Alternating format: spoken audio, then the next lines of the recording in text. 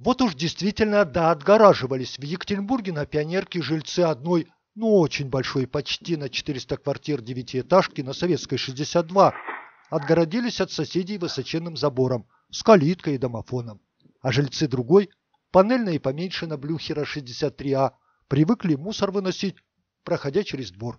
И теперь последние ломятся в закрытую калитку первых, а наткнувшись на преграду по-черному свинячат и средь бела дня, и под покровом тьмы. Один из местных пенсионеров, потыкавшись в запертую калитку, не постеснялся камеры на воротах и не по-стариковски лихо метнул два пакета с мусором соседям через забор.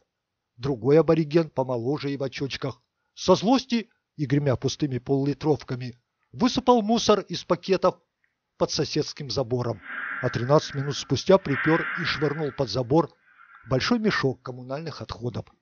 Знающие люди утверждают, что мусорка блюхеровской многоэтажки в их квартале, но народ привык ссоры с квартир выносить во двор соседней Брежневки на Советской, и ломать привычки, кажется, впредь не собирается.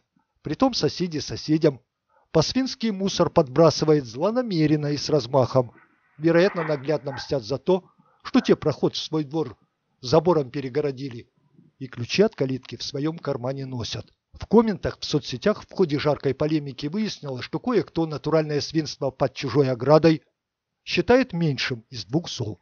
Дескать, соседи тоже насервитутствовали по полной. В полемическом задоре оппоненты даже заспорили по поводу буквы А в номере блюхеровской девятиэтажки, жильцы которой гадят у соседей под забором. В том смысле, что обитатели дома на Блюхера 63 не при делах. Ближе к концу виртуальной дискуссии кто-то из спорщиков мечтательно заявил, что неплохо было бы мусорным подкидышем, как бы поделикатнее выразиться, по лицам теми самыми пакетами настучать.